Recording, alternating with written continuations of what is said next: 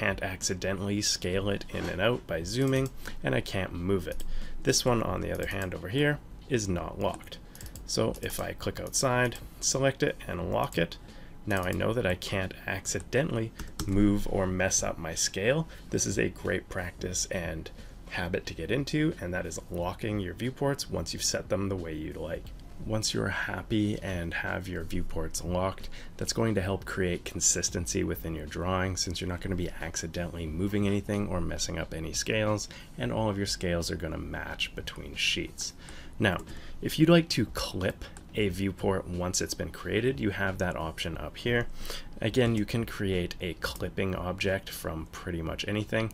I'm going to draw a circle here just in the middle. We're going to place it over our existing viewport. So this is our viewport here, and this is simply a circle.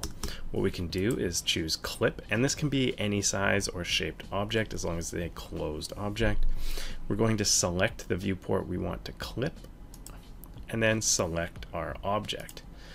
Doing that has now created a locked clipped viewport in whatever shape we'd like. So this is a great way to get creative, especially with like zoom ins and blow ups of details of various objects and areas within our plans. This can save a ton of time and it makes our drawings look a lot better and more professional if you've got things kind of fitted around properly with nice clean lines and edges.